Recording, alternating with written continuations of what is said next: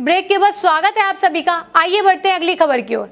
गुरुग्राम में चोरी की वारदात थमने का नाम नहीं ले रही है। बुधवार की रात गुरुग्राम में खारसा रोड व राजनगर में कार सवार चार चोरों ने कई दुकानों के शटर तोड़कर चोरी की घटना को अंजाम दिया। चोरी की वारदात दुकानों में लगे सीसीटीवी कैमरे में कैद हो गई। वहीं दुकानदारों ने चोरी की शिकायत पुलिस को दी। मौके पर पहुँची पुलिस ने घटनाक्रम का जायजा लिया और सीसीटीवी फुटेज के आधार पर चोरों की पहचान की जा रही है।